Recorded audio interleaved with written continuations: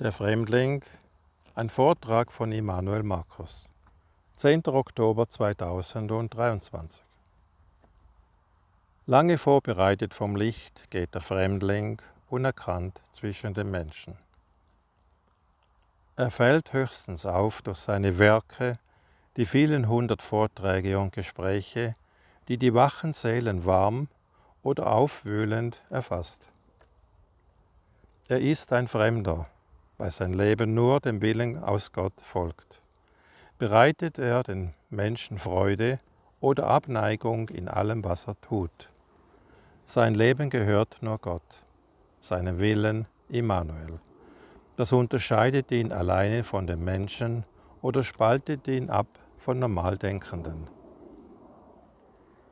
Gleich wo er den Fuß aufsetzt, dort kommt es zur Auslösung.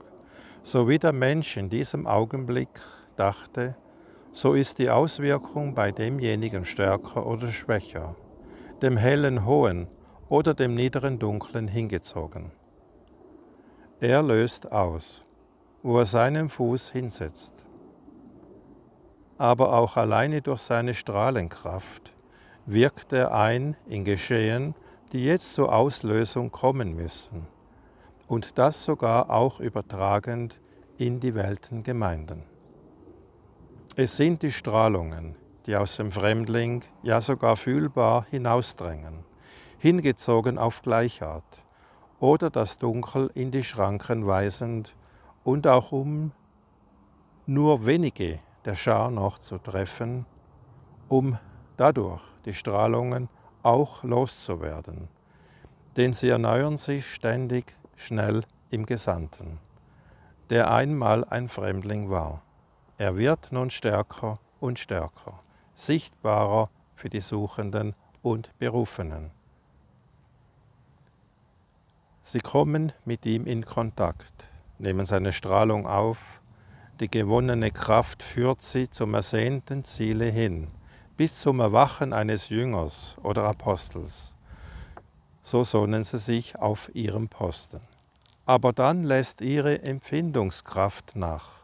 Sie zweifeln und grübeln, das Dunkel schleicht sich geschickt ein und nimmt die Berufenen gefangen. Nur deshalb, weil sie alle die Fühlung zum Gesandten verloren haben, denn wer sich nicht täglich müht als Berufener, die Empfindung zu Immanuel Markus aufrecht zu erhalten trachtet, durch die empfindsame Fühlung zu ihm, wird abfallen. Wenn ihr euch mir nicht recht empfindet, könnt ihr mir nicht folgen und die Schöpfung nicht erfahren. Dann werdet ihr nach und nach abfallen, wie eine überreife Frucht vom Baum weil die geistige Ansprangung täglich gelebt werden will, nur die Empfindungswachsamkeit hält den Berufenen aufrecht im Denken und Handeln für das Licht. Wird die Wachsamkeit gelebt, bindet sich der Berufene an den Menschensohn. Er nennt sich Menschensohn, weil er auch in dieser Strahlung steht als der verlängerte Arm von Immanuel. Seit dem 30. Dezember 2021 näherte sich ihm, dem Gesandten, auch Abdruschin. Ab dem 9. Dezember, September 2023 ist auch Abdruschin ganz in der Nähe als Berater aus der Feinstofflichkeit wirkend ihm an der Seite. Das Licht gibt nun alle höchsten Helfer auf den Plan, damit der auserwählte Diener von Immanuel im Körper von Immanuel Markus erfüllen kann. Durch seine feinstoffliche Hülle des Löwen, ein Ritter von Parzival, ist er auch der lichte Streiter für alles, lichte kriegerische. Ich werde mit meinen Ausführungen keine Rücksicht nehmen auf Unverstandene oder Zweifler. Sie werden immer etwas finden im Verstande ihres beschränkten Gehirnes zum Aufwiegeln meiner Aussagen. Ausgelöst durch deren Schwäche sind sie offen für Gedanken, die im Raum sind, diese aufzunehmen und verhängnisvoll als ihre eigenen zu betrachten. Sie verfallen der Gedankenwelt der Aufwiegler, Verführer, Täuscher und Magier, grobstoffliche und feinstoffliche. Das macht sie zu Gegnern und sogar Feinden gegen den Gesandten. Tatsache ist, ich bin auserwählt, eine Schar der Erdenmenschen zu führen. Eine kleine Schar wird mir folgen, bis dann später die 144.000 bei mir stehen werden auf dem neuen Berg.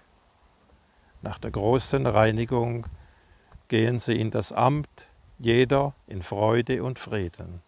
Erfüllen sie ihre aufgetragene Aufgabe in immerwährendem Glück.